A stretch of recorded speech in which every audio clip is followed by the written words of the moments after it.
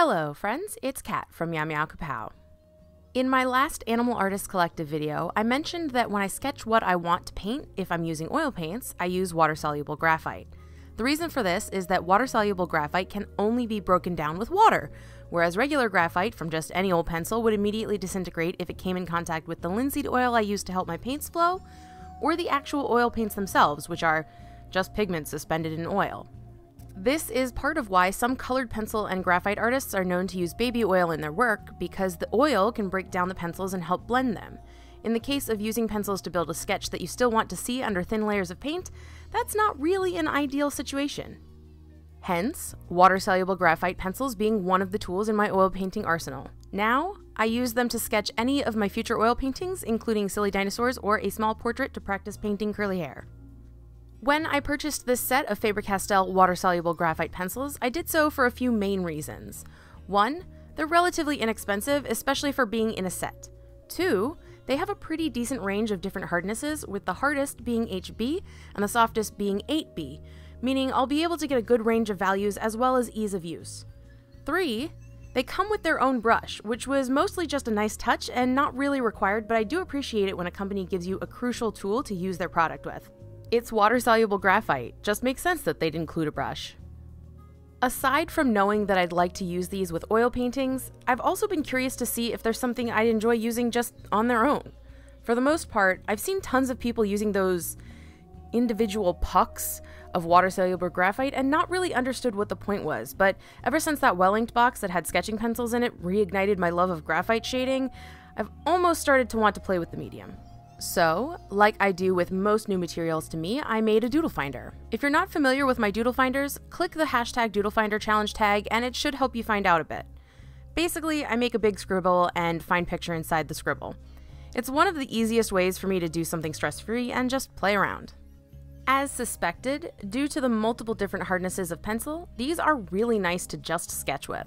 Like normal graphite, they do smudge if you're not careful, and I did end up having a bit of a graphite palm by the end, but it's not a big deal because this not only erases like normal graphite, you can super easily wash it off of you with a bit of water. It's also worth noting that while these pencils aren't smooth as silk and some sort of angelic baby butt experience, they definitely aren't rough or scratchy. If you've ever gotten a pencil that makes your teeth grit with how awful it is to use, you'll know exactly how important this information is. They are completely inoffensive to use, and that is a plus in my book.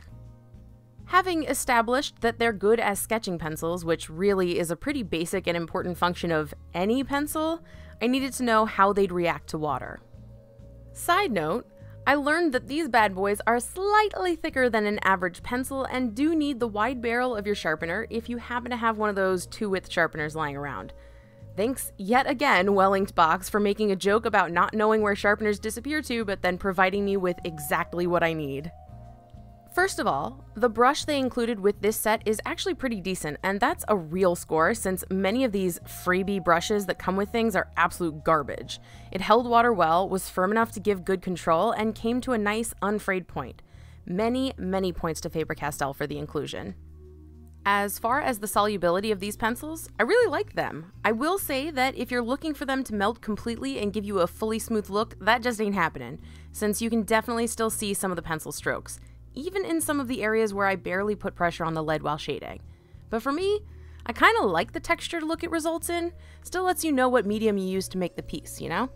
They do still manage to blend out well, and while I do enjoy the look of graphite strokes, I was surprised to find that I also like what is essentially a gray wash over them.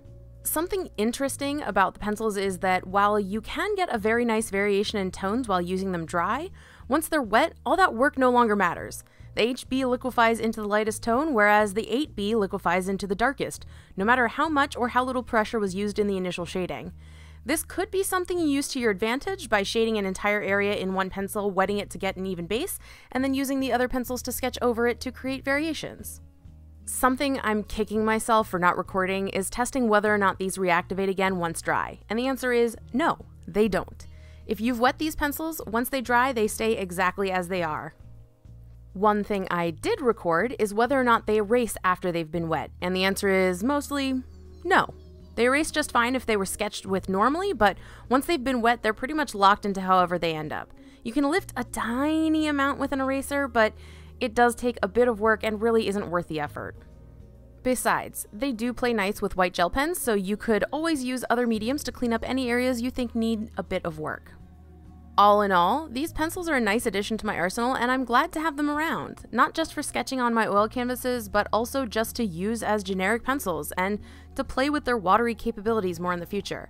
I'm curious to see how using them with water mediums may affect a gouache or watercolor painting. I assume they'll dissolve and add a bit of a gray effect, which intrigues and appeals to me on a certain level. This is really my first foray into water-based pencils, and I'm wondering what you think about them. Have you used water-soluble graphite in any form, or what about watercolor pencils?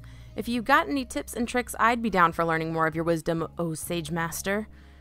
Rosemary Master? Herb of your choosing, Master? Oh, and of course, if you're interested in the supplies used in this video, I've got them linked in the doobly-doo. The sketchbook I'm using was a gift from a friend, and I can't find the exact one, so I've linked to something similar that I have used before. Pocket sketchbooks are so darn handy, and I love them. Until I see you next time, I wish you peace, love, and potatoes. Bye!